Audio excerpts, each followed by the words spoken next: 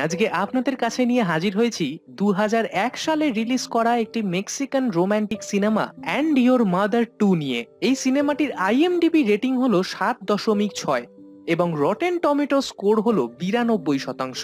এই সিনেমাটি দুটো টিনেজার ছেলের ওপরে, যারা একটি অ্যাডাল্ট মেয়ের সাথে একটি ট্রিপে যায়। এত সুন্দর দেখতে একটি মেয়ে, কি করে তার কাজিনের স্ত্রী হলো? এরপরে লুইসা যখন তাদেরকে জানায় যে সে এইখানকার সুন্দর সুন্দর বীজগুলোকে ঘুরতে চায়, তখন জুলিয়া আর টেনোজ তার সামনে অনেক বড় বড় বাতেলা মেরে ফেলে। আর তাদের কথা শুনে এমনটাই মনে হচ্ছিল যে তারা মেক্সিকোর সমস্ত বীচের সম্পর্কে খুব ভালোভাবে জানে। তারা কথায় কথায় এমন একটি বিচের নাম বলে ফেলে যেটা সম্বন্ধে কেবলমাত্র হাতে গোনা কয়েকজন জেলেই জানে। তারা বলে যে সেই বীচটিকে হেভেন্স মাউথ বলা হয়, আর সেইটা ভীষণ সুন্দর একটি জায়গা। সেই বীজটিকে দেখলে এমন মনে হবে যেন স্বর্গের একটি টুকরো ভেঙে আমাদের পৃথিবীর ওপর এসে পড়েছে। এরপরে টেনো চা জুলিও জানায় যে কালকে তারা সেই বিচে একটি ট্রিপের উদ্দেশ্যে যাচ্ছে আর তারা লুইসাকেও তাদের সঙ্গে যাওয়ার জন্য নিমন্ত্রণ জানায়। সেই পার্টির শেষে লুইসা ডাক্তারের কাছে যায়। সেইখানে তার কিছু রিপোর্ট কালেক্ট করার ছিল। আর তখনই সেখানে সে খুব খারাপ একটি খবর পায়। তার ক্যান্সার ধরা পড়েছে। আর সেইটা এতটাই বেড়ে গেছে যে সে আর বেশি দিন বাঁচবে না। আর এখন তার জীবনের বেশি দিন আর বেঁচে নেই। সে তার স্বামীকে এই মুহূর্তে এই কথাগুলো জানাতে চায় না। কারণ সে একটি বড় ইউনিভার্সিটিতে প্রফেসরের চাকরি পাচ্ছিল। তাই সে তাকে ডিস্টার্ব ফিল করাতে চাইছিল না। সেই রাতেই লুইসা যখন জানোর সাথে ফোনে কথা বলে জানো তখন নেশায় তাকে বলে যে সে তাকে ভীষণ ভালোবাসে, অথচ এক সময় সে একটি অন্য নারীর সাথে সম্বন্ধ রেখেছিল। সে সেটাকে নিজের মুখে স্বীকারও করে, কিন্তু এই মুহূর্তে দাঁড়িয়ে লুইসার জীবনে এই সব কথাবার্তার আর কোনো দাম নেই। তার কাছে খুবই ছোট একটি জীবন পড়ে আছে।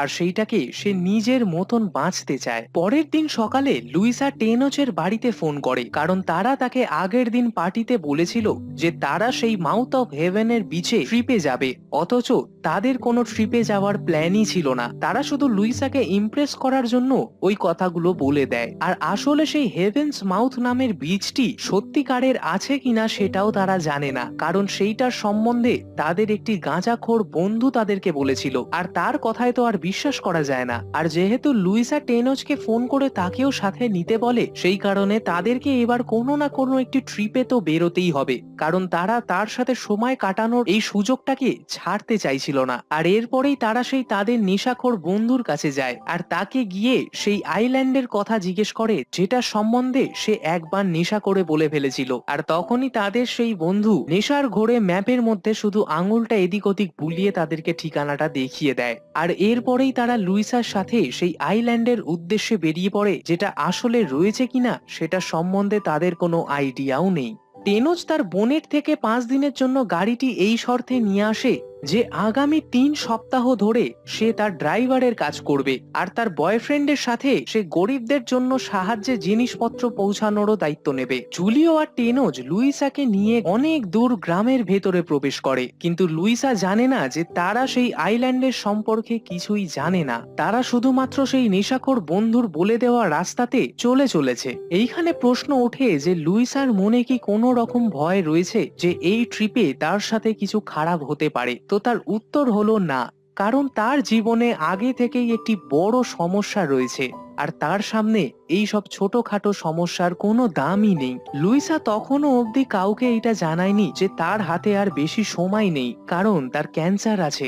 সেই জার্নির সময় সে তাদেরকে বলে যে সে একজন ডেন্টাল টেকনিশিয়ান, আর সে এই ডিগ্রিটি তাড়াতাড়ি পেয়ে গেছিল বলে সে সেটাকে করে নেয়, আর খুব তাড়াতাড়ি সে একটি কাজও পেয়ে যায়। আর তারপরে সে জানোর আন্টির সেবা করে।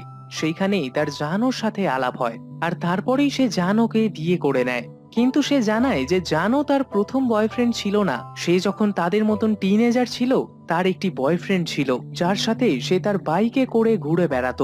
কিন্তু তার বয়ফ্রেন্ডের একদিন অ্যাক্সিডেন্টে মৃত্যু হয়ে যায়, আর সে তাকে খুব ভালোবাসতো। আর সেই কারণেই তার এই ট্রাভেল করার শখ চেপে যায়। এরপরে তারা রাতের বেলা একটি হোটেলে এসে ওঠে। সেইখানে লুইসা নিজের জন্য একটি রুম নেয় আর জুলিও এবং টেনোজ আলাদা একটি রুমে যায়। তারা লুইসার রুমে উকি ঝুঁকি মারে আর তারা এটাই আশা করছিল যে তারা যেন লুইসার সৌন্দর্যের এক ঝলক দেখতে পায়। কিন্তু সেই জায়গায় তারা লুইসাকে তার রুমে কাঁদতে দেখে। সেই দুজন ছেলে এইটা জানতো না যে লুইসার মনের ভেতর তখন কি রকম ঝড় বইছিল। পরের দিন আবার তারা জার্নি কন্টিনিউ করে। তারা তিনজন জয়েন্ট ফুকতে ফুকতে যাচ্ছিল। তাদের কাছে গাঁজার খুব ভালো একটি স্টক ছিল, যেটাকে তাদের সেই বন্ধু সাপ্লাই করেছিল। সেইটাকে তারা মাঙ্কি শিট বলতো, আর সেইটা ভীষণ স্ট্রং এরপরেই একটি গ্রামের নেম বোর্ড দেখে টেনচের মনে পড়ে যায় যে ছোটবেলায় একটি ন্যানি তার দেখাশুনো করত, আর সে এই গ্রামেই থাকে। ছোটবেলায় সে তাকে মা ভাবতো। তার সেই ন্যানির কথা মনে পড়তেই সে খুব ইমোশনাল হয়ে পড়ে। ইতিমধ্যেই তারা শহর ছেড়ে অনেক দূরে চলে এসেছে। সেইখানে অনেক উঁচু উঁচু পাহাড় ছিল, আর কাঁচা রাস্তা ছিল। কিন্তু এখনও তাদের অনেকটা পথ চলতে হবে। আশেপাশে হেভেন্স মাউথের কোনো চিহ্ন মাত্র নেই। লুইসা টেনোচ আর জুলিওর সারা রাস্তা তাদের গার্লফ্রেন্ড এবং বয়ফ্রেন্ডের ব্যাপারে কথা বলতে বলতেই কেটে যায়। টেনোচ আর জুলিও লুইসার সামনে স্মার্ট হওয়ার চেষ্টা করছিল। তারা বলে যে তাদের গার্লফ্রেন্ড ছাড়াও তাদের অনেক মেয়েদের সাথে সম্পর্ক রয়েছে। আর পুরো জার্নিতে তাদের তিনজনের মাঝখানে শুধুমাত্র ইরোটিক কথাবার্তাই হয়।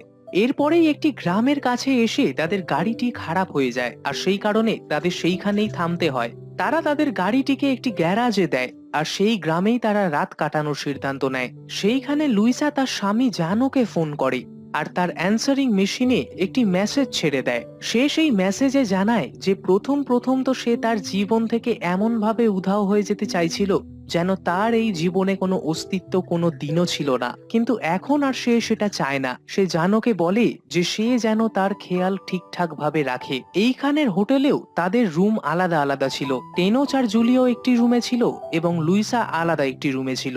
সেইখানে টেনোচ শাওয়ার নিচ্ছিল আর সে শ্যাম্পু না খুঁজে পেয়ে বাইরে বেরিয়ে আসে। তখনই সে দেখতে পায় যে লুইসা সেখানে বসে আছে আর লুইসা তাকে তার জামা কাপড় খুলে ফেলতে বলে আর তারপরেই তাদের মাঝখানে ফিজিক্যাল রিলেশন গ্রো করে। কিন্তু টেনোচ যেহেতু টিনেজার ছিল, সেই কারণে তার মনে হয় যে সে যেন লুইসাকে একটু ডিসঅ্যাপয়েন্ট করে দিয়েছে। টেনোচ আর লুইসা যখন ইন্টিমেট হচ্ছিল, তখনই সেখানে জুলিও এসে সেইগুলো দেখতে পায় আর সে খুবই দুঃখিত হয়ে পড়ে। তার খারাপ এই কারণেই লাগে, কারণ তার ছোটবেলাকার একটি কথা মনে পড়ে যায়। সে যখন বাচ্চা ছিল, সে খেলে ধুলে বাড়ি ফিরে তার মাকে তার দাদুর সাথে দেখে। আর তখন সে এই বিষয়টা নিয়ে কাউকে কিছুই জানায়নি। আর জুলিও সেই পুলের ধারে একা বসে পড়ে। তখনই সেখানে টেনোচ আসে আর সে খুবই হাসি খুশি ছিল, কারণ সে লুইসার সাথে সম্পর্ক গড়ে ফেলেছে, যেইটার ব্যাপারে সে দুদিন আগে শুধু ভাবনা চিন্তাই করছিল। অন্যদিকে জুলিও তার উপরে রেগেছিল তার হয়তো হিংসে হচ্ছিল কারণ লুইসা তার জায়গায় টেনোচকে চুজ করেছে। জুলিও হিংসায় টেনোচকে একটি কথা বলে যেটা সে এখনও অবধি তাকে বলেনি। সে তাকে জানায় যে টেনোচের গার্লফ্রেন্ডের সাথে সে একবার ইন্টিমেট হয়েছিল। তারা একটি পার্টিতে ছিল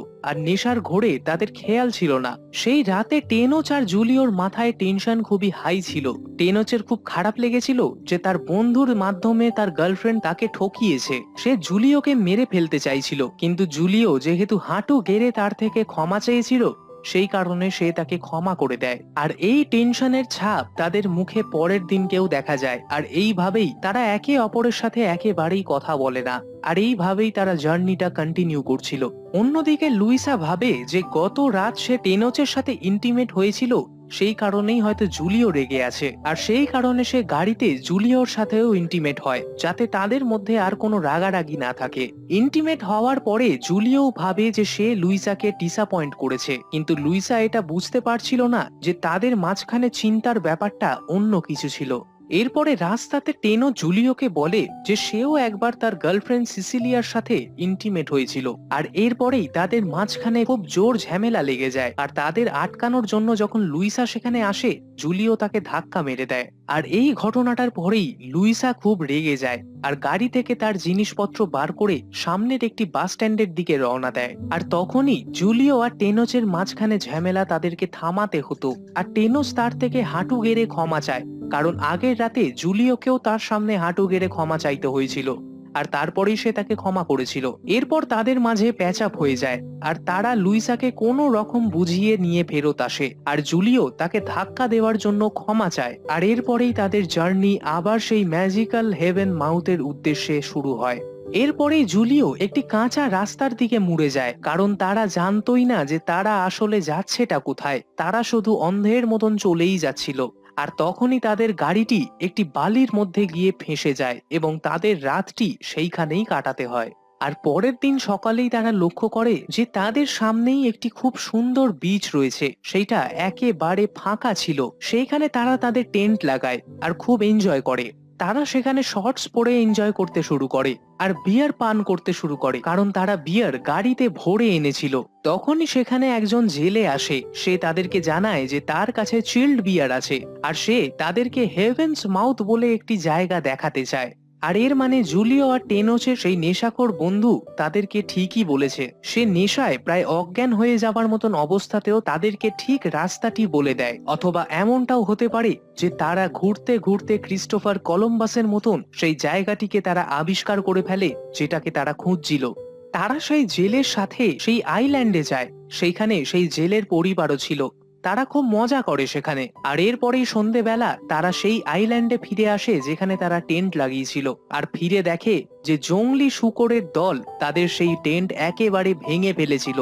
আর সেই কারণেই তাদের পিছনে সেই গ্রামে ফিরে যেতে হয়। সেই রাতে তারা খুব মদ্যপান করে, আর তাদের কোনো হুঁশ আর ছিল না। সেই রাতে জুলিও আর টেনোচ মিলে লুইসার সাথে ইন্টিমেট হয়, আর তাতে লুইসার পুরো সম্মতি ছিল। এমনকি টেনোচ আর জুলিও নেশার ঘরে একে অপরকে কিস করে। আর পরের দিন যখন টেনোচ আর জুলিওর ঘুম ভাঙে, তারা তাদের আগের রাতের কথা মনে করে ভীষণ ঘেন্না পায়। এমনকি টেনোজ, বমি করে ফেলে। তাদের অ্যাডভেঞ্চার এখন সম্পূর্ণ হয়েছে, আর তাদের এবার বাড়ি ফেরার পালা। কিন্তু লুইসা তখন ফেরত আসতে চাইছিল না, সে আরও কটা দিন থাকতে চাইছিল। এরপরেই তারা বাড়ি ফেরার উদ্দেশ্যে রওনা দেয়, আর সেইখানে টেনোচ আর জুলিও একে অপরের সাথে বেশি কথা বলে না, কারণ তাদের আগের রাতের সেই ঘটনা নিয়ে তাদের ভীষণ লজ্জা লাগছিল। আর তারা যখন বাড়ি ফিরে আসে, তাদের একে অপরদের সঙ্গে দেখা করাও কমে গেছিল। এমনকি তারা নিজেদের গার্লফ্রেন্ডদের সাথেও ব্রেকআপ করে নিয়েছিল, কারণ তাদেরকে জুলিও আর টেনোজ বিশ্বাস করতে পারছিল না। টেনোচের মনে হতে থাকে যে তার গার্লফ্রেন্ড জুলিওর জন্য তাকে চিট করছে। আর অন্যদিকে জুলিও ভাবছিল যে তার গার্লফ্রেন্ড টেনোচের জন্য তাকে চিট করছে। কিন্তু আসল ঘটনাটা হয়তো এমনই হতে পারে যে যেহেতু জুলিও টেনোচকে লুইসার সাথে প্রথমে সম্পর্ক গড়তে দেখে, সে টেনোচকেও খারাপ ফিল করানোর জন্য তাকে মিথ্যে কথা বলে দেয় যে সে তার গার্লফ্রেন্ডের সাথে ইন্টিমেট হয়েছে। আবার অন্যদিকে লুইসা যেহেতু জুলিওর সাথে সম্পর্ক গড়েছিল, সেই কারণে হয়তো টেনোচের খারাপ লাগে। আর তাই সে জুলিওকে বলে দেয় যে সেও তার গার্লফ্রেন্ডের সাথে সম্পর্ক করেছে। তাদের মাঝে যাই হোক না কেন, কিন্তু সেই ট্রিপের পরে তাদের মাঝের বন্ধুত্ব আর আগের মতন ছিল না। তারা একে অপরের সাথে আর দেখাও করতো না, আর বছর খানেক বাদে তারা যখন একে অপরের সাথে দেখা করে, সেইখানেই জুলিও টেনোজকে লুইসার ব্যাপারে জিজ্ঞেস করে। আর টেনোচ তখনই জানায় যে লুইসা মারা গেছে। সেই ট্রিপের এক মাস বাদেই তার মৃত্যু হয় আর তার ক্যান্সার ছিল। টেনোচ জুলিওকে এটাও জানায় যে সেই ট্রিপ চলাকালীনও লুইসা জানতো যে তার ক্যান্সার ছিল আর সে এক মুহূর্তের জন্যও তাদের সামনে দুঃখ প্রকাশ করেনি। সে তার বেঁচে থাকা জীবনটাকে হাসি খুশি ভাবে কাটাতে চেয়েছিল আর সেই কারণে সে সেইখানেই থেকে গেছিল। এরপরে শেষে ফিল্মের ন্যারেটার জানায় যে সেইটাই ছিল জুলিও আর টেনোচের শেষ দেখা। আর এরপরে তারা একে অপরের সাথে আর কোনোদিন দেখা করেনি এবং এই সিনেমাটি এইখানেই শেষ হয়ে যায়। তো বন্ধুরা, এই ছিল অ্যান্ড ইয়োর মাদার টু এর গল্প। এই সিনেমাটিতে একজন মেয়ে যে জানে যে তার জীবন আর বেশি দিন নেই, তবুও সে নিজের সব দুঃখ, কষ্ট চেপে রেখে তার জীবনের শেষ কটা দিন হাসি খুশি ভাবে কাটাতে চেয়েছিল। আর আমার মনে হয় যে মানুষেরা মারা যাবার পরে তাদের শুধু স্মৃতিটাই থেকে যায়। সেই কারণে আমাদের জীবনের প্রত্যেকটা মুহূর্ত এইভাবেই হাসি খুশি থেকে মজা করে কাটানো উচিত। আপনাদের এই এক্সপ্লেনেশনটি কেমন লাগল সেটা কমেন্ট করে জানাতে অবশ্যই ভুলবেন না। আর এই ধরনের আরও মুভির এক্সপ্লেনেশন দেখতে স্ক্রিনের উপরে আসা ভিডিওতে ক্লিক করুন। আর সবার শেষে বলব, ভালো থাকবেন। ধন্যবাদ।